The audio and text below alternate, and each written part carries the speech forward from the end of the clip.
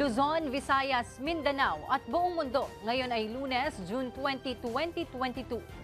Ako po si Micaela Ilaw at ito ang Balitang A to Z. Presyo sa kada kilo ng asukal hanggang 8 pesos ang itinaas. At big time oil price hike ipatutupad bukas. Bukod sa girian ng Russia at Ukraine, ano pa kaya ang dahilan sa panibagong akyat presyo nito? Ah, dahil nga iba na yung ating ginagawa ngayon, bumabalik tayo, we're going back to basics and trying and we will rebuild the value chain of agriculture. Para matutukan ang sektor ng agrikultura, President-elect Ferdinand Marcos Jr. pamumunuan ang Department of Agriculture. At naganap na inaugurasyon ni incoming VP Sara Duterte sa Davao City, naging generally peaceful. Sunod na tututukan, planong pag-abolish sa K-12 program. Lingguhang kaso ng COVID-19 sa bansa muling lumobo sa mahigit 3,000. Pero eksperto, nilinaw na wala namang dapat ipangamba. At DepEd physical distancing sa mga paaralan na nasa alert level 1, posibleng luwagan. Sa ibayong balita, apat na milyong residente stranded ngayon sa malawakang pagbaha sa Bangladesh. Habang Spain nagkaroon ng wildfire dahil sa mainit na temperatura sa lugar. At sa ating showbiz balita, K-pop supergroup na BTS muling gumawa ng kasaysayan sa US Billboard chart.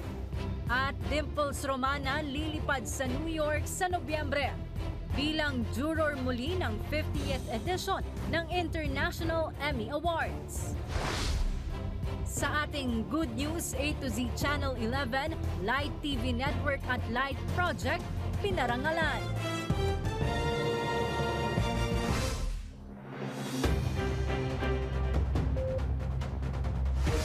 Magandang gabi. Pambungad nating newscast, muling tumaas ng 8 pesos ang presyo ng kada kilo ng asukal. Paliwanag ng mga nagtitinda bungad ito ng mataas ding patong sa kanila ng iba't ibang supplier. Una rito, nag-angkat na ng asukal sa Thailand ang Sugar Regulatory Admi- Administration para mapahupa ang tumataas na presyo ng asukal sa pamilihan. May balitang A to Z si Ace Cruz. Parang kuminsan gusto kong tumigil, eh, hindi ko naman pwedeng itigil gawa yung saan kami kukuha ang pang-araw-araw na panggastos. Ito raw ang sumasagi sa isip ng may-ari ng karinderya na si Nanay Luz Viminda sa tuwing nagpupunta ng palengke para mamili ng mga sangkap ng kanyang lulutuin araw-araw. Saksi ito sa tumataas na presyo ng mga bilihin. Gaya ngayon, nagulat na lang siya nang tumaas na rin ang presyo ng asukal. Pakiramdam tuloy ni Nanay Luz Viminda Malaki yung puhunan, tapos lumiliit ang benta. Sa Pasig City Mega Market halimbawa, mula sa dating 72 pesos sa kada kilo ng refined o asukal na puti at brown sugar, ngayon 80 pesos na ito o tumaas ng 8 pesos kada kilo. Ang wash sugar naman, mula 62 pesos ay 65 pesos na ngayon. Paliwanag ng mga nagtitinda, bunsod ito ng mas mataas sa presyong ibinibigay sa kanila ng mga supplier. Gate nila, nabibigatan na rin sila sa pagtaas ng presyo nito. Pakalaki. Dati magkano lang bintahan ng asukal? 40, 50, ngayon 80 na ang bintahan. Pero ayon sa ilang nagtitinda, mababa pa nga raw ang presyo nito. Nung nag-text, nagulat ako. Nag-plus 150 pesos na naman sila. Hindi muna ako nagkumuha po. Kasi niisip ko baka mami, hindi na mabili. Lalo na yung asukal na puti, sobrang taas. Halos po na na, 80 pesos. Eh, papatungan pa namin siyempre yun. Ayon sa Agriculture Department, isa sa nakaapekto ng mababang produksyon nito noong Marso hanggang nitong Mayo ay ang pagtama ng Bagyo Odette sa Negros Region. Agad namang umaksyon ang ahensya katuwang ang SRA o Sugar Regulatory Administration kahit umangkat na ito sa Thailand na tinuturing na ikalawang pinakamalaki importer ng sweetener sa buong mundo ng nasa 200,000 metric tons ng asukal. Sa parang ito raw, matutulungan ng pagbaba kahit papaano ng presyo ng asukal sa merkado. Sa katunayan, may ilang shipments na nga nito ang dumating sa bansa at nakatakdang suriin ng SRA board bago magamit na iba't ibang industriya na gumagamit ng asukal. Ang ilang shipments daw ng asukal ay hindi pa nakararating sa bansa dahil sa ilang isyong panglegal. Pero ayon sa grupo ng sugar producers, papaano hindi tataas ang presyo ng asukal gayong inilalaan lamang ito sa iba't ibang industriya. Gayunman, hindi pa rin tumutugon ang pamunan ng SRA sa komentong ito. Sa huli, Nanawagan ng publiko sa susunod na administrasyon na dumating na sana muli ang panahong mararamdaman nila ang bilihin ay abot kaya ng kanilang bulsa. Para sa Balitang A to Z, Ace Cruz. Posible pang pumalo ng hanggang 100 pesos kada litro ang presyo ng produktong petrolyo kung magpapatuloy ang lingguhang pagtaas nito. Ayon sa Energy Department, hindi naman ito isang bagsakan. Sa halip ay kung magpapatong-patong ang iba't ibang dahilan gaya ng nagpapatuloy na girian ng Russia at Ukraine at paghina ng palitan ng piso kontra dolyar. Mamayang hating gabi, magpapatupad ang oil companies ng 3 pesos and 10 centavos na dagdag sa kada litro ng diesel. Aabot naman sa halos 2 pesos sa kerosene at 80 centavos sa kada litro ng gasolina. Pero ang nangyayari dito, nagpapatong-patong-patong, ah, may posibilidad dyan kung tuloy-tuloy na bawat araw, bawat linggo eh, tumataas. Pero yung biglaan o na pag-angkat naman na pagtaas ng 100, yun eh, hindi naman ang mangyayari yun most likely.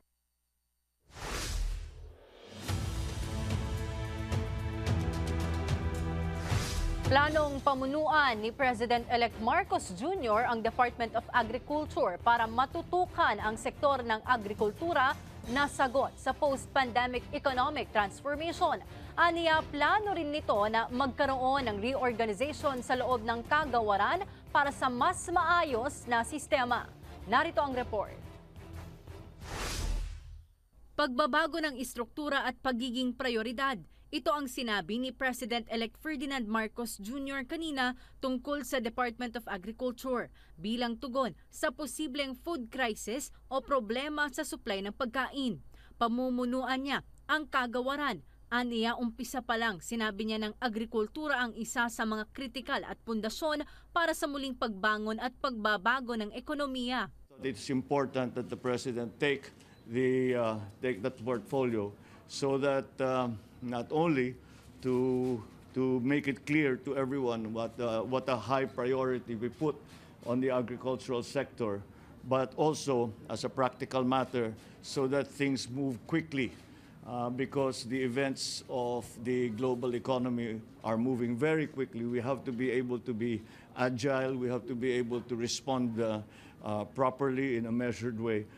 Plano pa ng administrasyon ni Marcos na magkaroon ng reorganization sa loob ng kagawaran. Ah, dahil nga iba na yung ating ginagawa ngayon, bumabalik tayo or going back to basics. Ilang beses nyo na sa aking narinig ito, back to basics. We're going back to basics and trying and we will rebuild the value chain of agriculture. Prioridad din nila ang pagpaparami ng agricultural production. There are many priorities that we have to attend to simultaneously.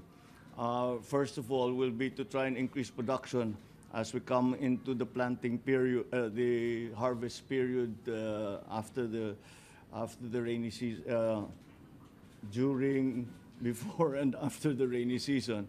Uh, hopefully, we can counteract some of the increases uh, in prices. Problema lang nila ay hindi mapupunan ang lahat ng parte ng agrikultura dahil maliit ang inilaan na pondo sa kagawaran. Sa 2022 national budget na inaprubahan ng kasalukuyang administrasyon, ikatlo ang DA sa may pinakamababang pondo na 71 billion pesos. Pinakamaraming pondo na pinaglalaanan ay ang edukasyon at public works and highways. Sunod ang DILG at ikaapat ang Department of Health. Bukod sa planong pamunuan ang agrikultura, Sinagot din ni President-elect Marcos Jr. ang tungkol sa rice tarification. Aniya dapat na gamitin para sa mekanisasyon ng mga magsasaka ang pondo mula sa taripa. Natanong rin ang tungkol sa pagmimina. Aniya nakakalungkot na hindi na monitor ang mining industry sa bansa. Sinagot din nito ang tungkol sa ownership ng renewable energy sources na aniya ay hindi pwedeng maging 100%. Kaugnay naman sa excise tax sa petrolyo, hindi pabor si Marcos Jr. na alisin ang dagdag na buwis sa petroleum products.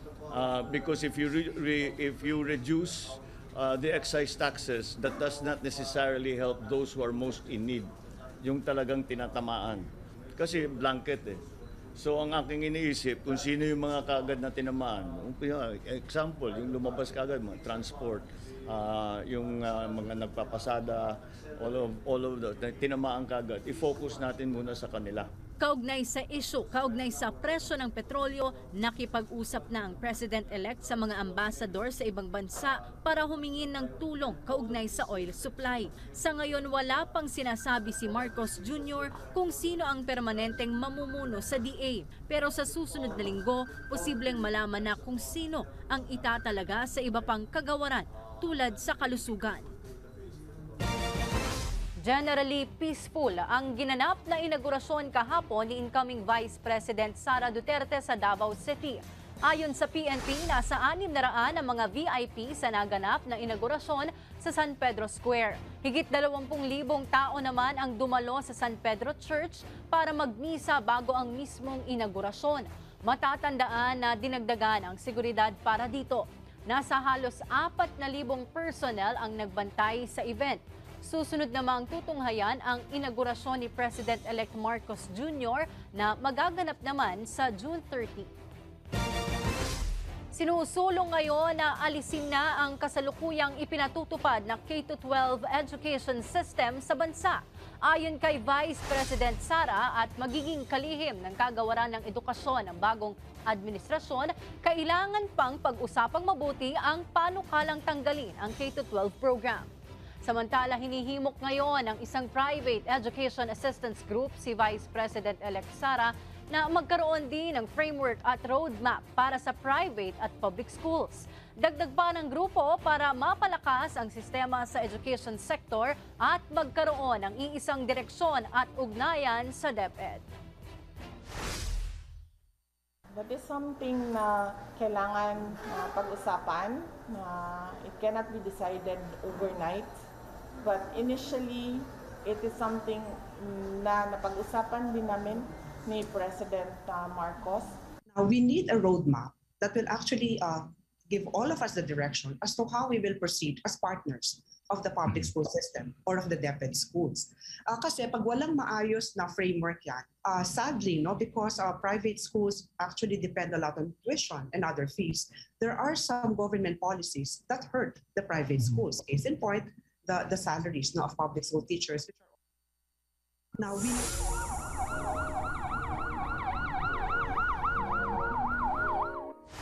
Muling lumobo sa mahigit 3,000 ang lingguhang kaso ng COVID-19 sa bansa. Pero nilinaw ng isang eksperto sa publiko na wala namang dapat ipangamba sakaling taasan muli ang alert level system. May balitang A to Z si Giselle Simon.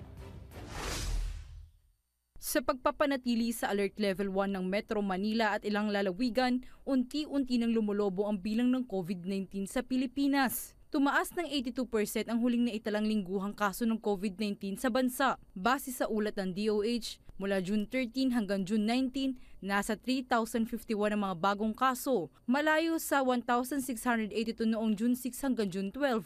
Nadagdagan ng 15 ng severe cases, habang meron namang anim na pumanaw sa COVID-19. Pagdating naman sa healthcare utilization, 554 ang nasa severe and critical admissions, habang 365 ang okupado sa ICU beds. Una nang sinabi ng DOH na posibleng dumoble ang kaso ng COVID-19 sa bansa dahil sa pagpasok ng mga bagong subvariants. Pero tiniyak ni infectious disease expert Dr. Edsel Salvania na kontrolado pa ang mga kaso ng infeksyon sa Metro Manila. At this point naman, wala naman talagang indikasyon na kailangan natin mag-move to alert level 2 because again, ang pinaka-pakay naman talaga ng ating alert level system is really to preserve uh, the healthcare system. Malayo po tayo dun sa point na uh, iisipin natin Sinabi pa nito na malalabanan ng COVID-19 kung patuloy na susundin ng publiko ang health protocols at pataasin ang bakunahan. Hindi lang sinang-ayunan ni Salvania ang panukala na payagan ng makakuha ng second booster shot. Ang pangkalahatan ng populasyon dahil anila malapit na ma-expire ang mga bakuna. the data is not as clear kasi yung mga studies na ginawa for second boosters is really in the elderly population and it it doesn't make sense na magbibigay ka ng bakuna na hindi klaro ang evidence dahil lang mag expire siya. E paano kung nagkaroon ng side effect? Hindi po ganun yung kadali.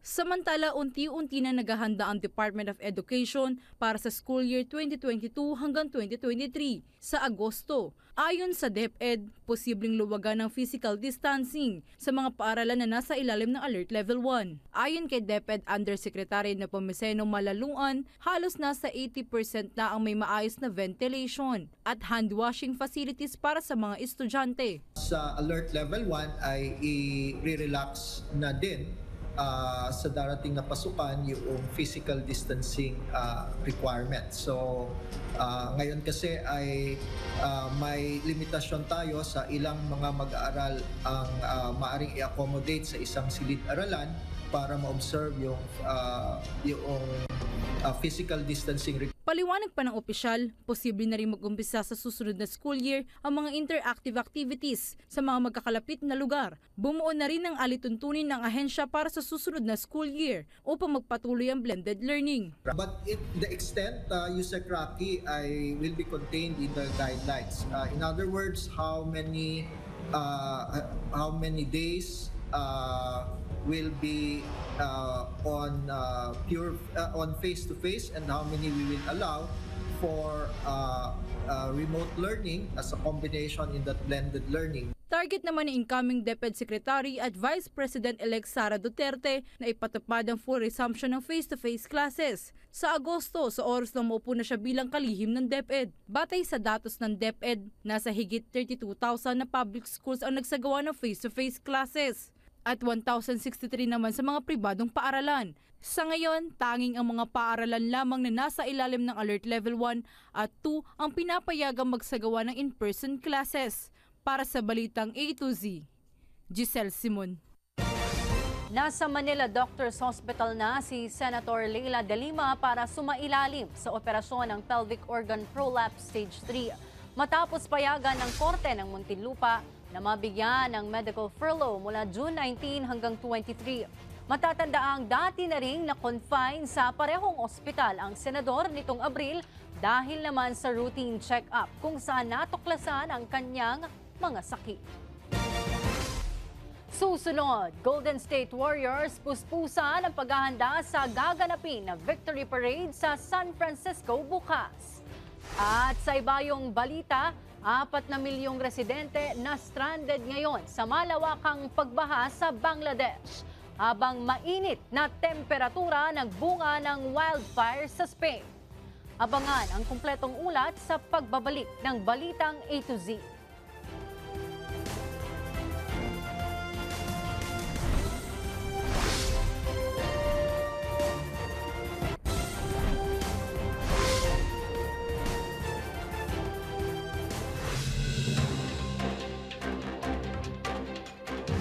Madsad sa runway ng Ninoy Aquino International Airport o NAIA ang Saudi Airlines Flight SV862 galing sa Riyadh. Base sa ulat, pasado alas 2 ng hapon sa Terminal 2 nang mangyari ang nasabing insidente. Nabalahaw daw ang gulong nito na nagsanhi ng paggewang ng eroplano. Wala namang nasaktan sa mga pasahero. Sa iba pang balita, abiso sa publiko inanunsyo ng Philippine Embassy sa Filipino community sa Thailand na hindi na sila maglalabas ng request letters na naka-address sa Thai Immigration Bureau. Kasunod yan ng pagluluwag ng health protocol sa Thailand at paghahanda ng nasabing bansa sa pre-pandemic normal sa susunod na buwan. Matatandaan na ng umusbong ang pandemya, naglabas ang embahada ng liham para sa visa extension sa mga naipit na Pinoy doon para hindi makasuha ng illegal overstay.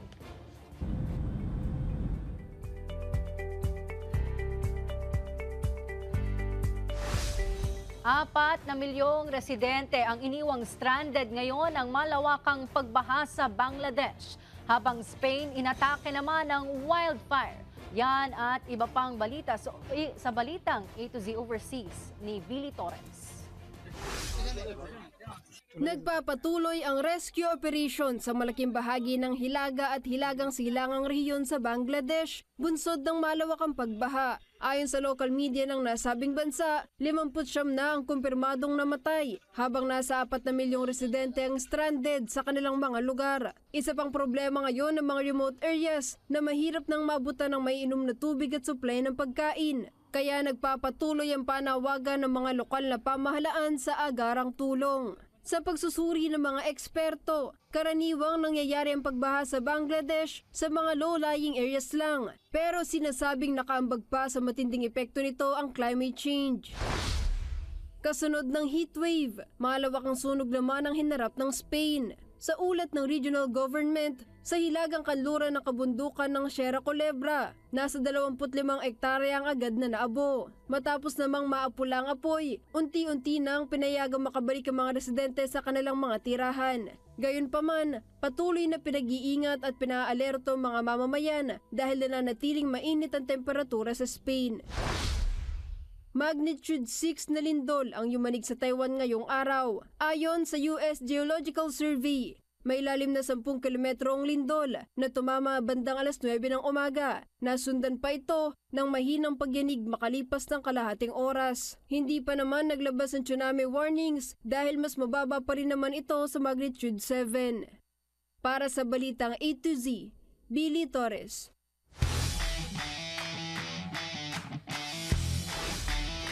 Puspusa na ang paghahanda ng fans ng Golden State Warriors sa gagawin nilang victory parade sa San Francisco bukas. Ito'y matapos na talunin ng Warriors ang Boston Celtics dahilan para masungkit ang ikaapat na kampyonato sa NBA Finals. Ayon sa mga organizer, magiging maiksi lang ang parada. Ang mahalagaan nila ay maiparamdam sa mga manlalaro ng koponan ang pagsaludo sa karangalang na ibigay sa milyon-milyong fans nito. Samantala, tiniyak naman ng San Francisco Police na maghigpit ang kanilang uh, ipatutupad na seguridad sa paligid ng pagdarausan ng programa para maiwasan ang anumang uri ng insidente. Sa aming pagbabalik, K-pop supergroup na BTS muling gumawa ng kasaysayan sa US Billboard chart. At Dimples Romana lilipad sa New York bilang juror ng 50th edition ng International Emmy Awards sa ikalawang pagkakataon. At para sa ating Good News A to Z Channel 11, Light TV Network at Light Project, binigyang pagkilala at parangal. Manatiling nakatutok, kayo po ay nanonood ng Balitang A to Z.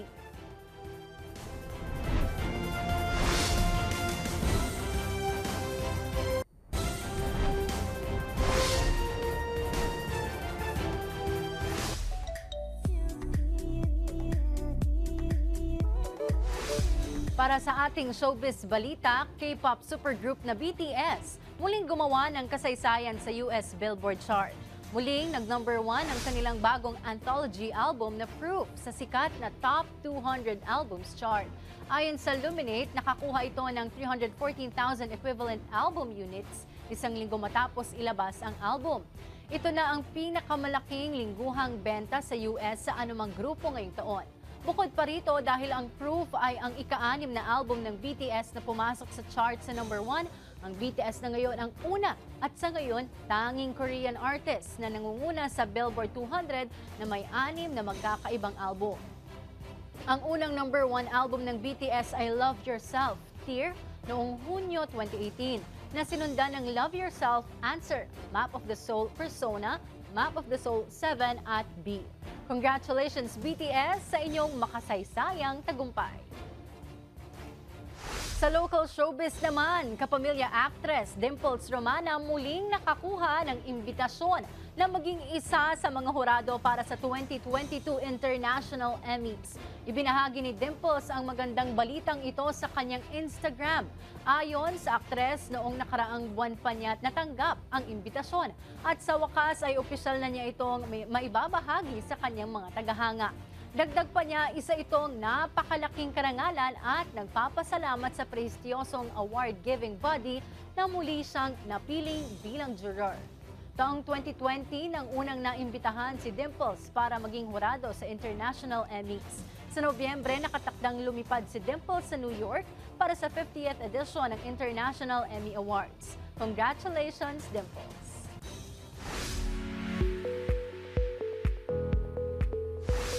Binigyang pagkilala naman at parangal ang A to Z Channel 11, Light TV Network at Light Project bilang isa sa mga premyadong sagisag ng bayan para sa Outstanding Media Partnership at Humanitarian Peace Prize Award. Ang buong kwento sa balitang A to Z ni Kim Salinas. Mapalad na nabigyan ng pagkilala at parangal ang Vice President for Business Development at General Manager ng Zoe Broadcasting Network Incorporated na si Brother Rene Gonzalez, A to Z Channel 11, Light TV Network at Light Project sa ginanap na Independence Day Humanitarian Peace Prize International Awards. Ang awarding ceremony ay ginanap sa Tagaytay City at pinangunahan ng chairman ng World Council Excellence Award Ministry Incorporated na si Dr. Reverend Bobby Brimon. Isa sa mga kwalifikasyon ng mga awardees kaya sila nabigyan ng pagkilala at parangal ang uh, citation ng World Council po because we are the only Christian organization award-giving institution. Ang isa sa mga tinututukan po natin ngayon ay ang character and attitude ng bawat miyembro po natin. Limampung awardees mula sa iba't ibang sektor ng lipunan ang nabigyan ng parangal at pagkilala. Ang Light TV and A2Z Balitang A2Z ay uh, kikilalanin natin ngayong isa sa mga premyadong sagisag uh, ng bayan pagkilala para po sa outstanding uh, media partnership po natin. At the same time, ang ating pong Light TV A2Z ay tatanggap din po ng isang Humanitarian Peace Prize Award. Maraming maraming salamat World Council Excellence Award sa panibagong parangal na ginawa niyo po sa A to Z bilang uh, isa sa mga sagisag ng Bayan Awardee as Humanitarian Peace Prize Award for Media Practitioner with outstanding special awards po. Patuloy po namin gagawin ang pinaka the best para po sa Diyos at para po sa bayan. Nagawaran ng pang-individual na pagkilala at parangal ay ang Vice President for Business Development at General Manager ng Zoe Broadcasting Network na si Brother Rene Gonzalez. On behalf of our founder, Brother Eddie Villanueva and our President and Chairman, Attorney, Attorney Sherwin Tugna, we thank you for the recognition of World Council Excellence Award for this participation in nation building through the media as Sagisag ng Bayan Awardee through the balanced programming of godly principles and righteous living in our free country, the Philippines. To God be the glory. Nabigyan din ng pagkilala at parangal ang Light TV Network at Light Project. On behalf of Light TV, God Channel of Blessing, uh, founded by Brother Eddie Villanueva and our General Manager, Sir Rene Gonzalez, kami po ay nagpapasalamat sa WCA for giving us an award of um, Sagisag ng Bayan Awardee Humanitarian Peace Prize Award for Media Practitioner. Kami po ay magpapatuloy in advancing the kingdom of God through media. Kaya sa aming pong tagapagsunod, sa Diyos lamang po ang papuri. Maraming salamat po. God bless. Lubusang pasasalamat ang pamunuan ng Zoe Broadcasting Network Incorporated sa kanilang natanggap. Makakaasa ang sambayan ng Pilipino na mas lalo pang pagbubutihin ng kanilang pamunuan para sa Diyos at sa bayan.